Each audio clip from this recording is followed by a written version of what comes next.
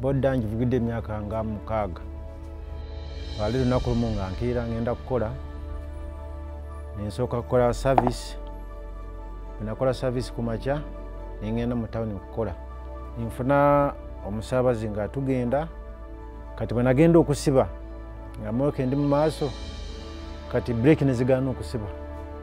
Ezagaana okusiba nentomera motoka nagitomera netugwa wansi eno musaabazi kale omusaabazi ye teyakosebwa nnyo nze nze ayakosebwa ennyo ekigere kyomu maaso kino.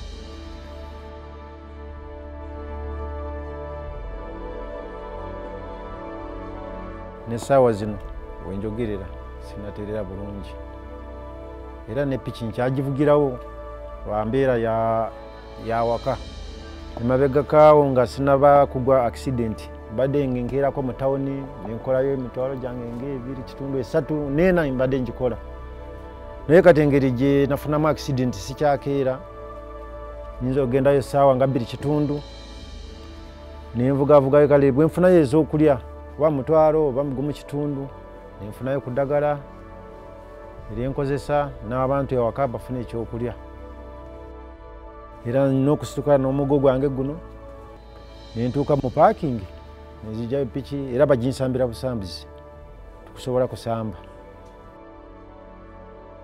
Ati breaks zino zebanguza bazinguza siringi kakaaga. Naye enamu baŋŋamba zagumu bbiri. Ate bwogenda okuziraba nga si breaks ziri awo bintu bigenda nebivaako bwokyanjo kye biri awo kati biringa ebyebokya kati nekiraba bino si kyuma bumba. Kati bwogenda okugerageranya eno n'oligino oligino yino yenyini erabikira ddala nga kyuma kyenyini ne saizi si zezimu ndowooza muziraba. Eno ntini eno ngazi bulungi.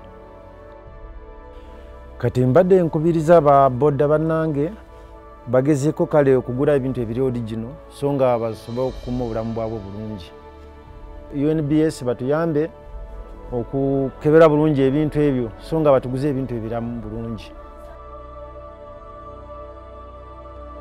Anyone can be a victim. Avoid counterfeit products and services. Share your experiences with us. Don't be fake. Buy, sell genuine. Anti-Counterfeit Network Africa.